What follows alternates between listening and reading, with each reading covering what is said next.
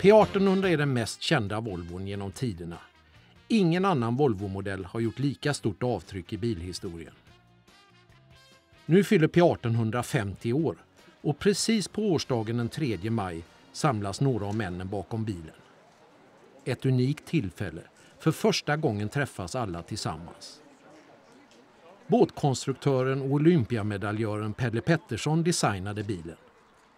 Ja, du, jag känner mig onekligen lite stolt över att den blev så lyckad som den blev. Det hade man ingen aning om för 50 år sedan att det skulle vara en bil som nu blir klassisk, eh, omhuldad på alla möjliga sätt och alla dessa entusiaster.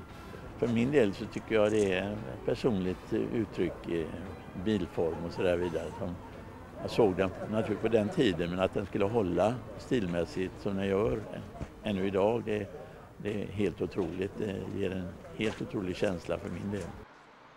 P1800 har alltid prisats för sin snygga design.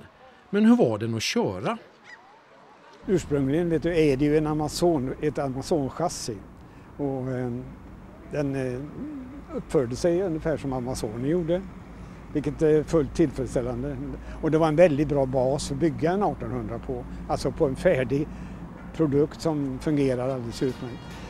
När den här bilen kom till blir det en eh, speciell epok då radialdäcket och skivbromsen eh, kom in i bilden. när de utvecklades. Och jag vill påstå att vår bil hjälper till att utveckla båda de här företeelserna. Mötet mellan männen bakom P1800 sker på restaurang Fars Hatt i Kungälv där också den första pressvisningen ägde rum för exakt 50 år sedan. Många minnen väcks till liv hos de samlade Volvo-veteranerna. Projektledaren Gösta Wallin minns speciellt samarbete med engelska Prest Steel och Jensen. Det var ganska besvärligt på många sätt. Det var olika fackföreningar på olika ställen. Så när man hade konflikter så ville de inte ens tala med varandra och det här var besvärligt. Men eh, i stort sett så var engelska konstruktörer precis som våra väldigt rara, hyggliga människor som gjorde sitt allra bästa. Även om vi kanske tyckte att vi kunde göra det bättre själva.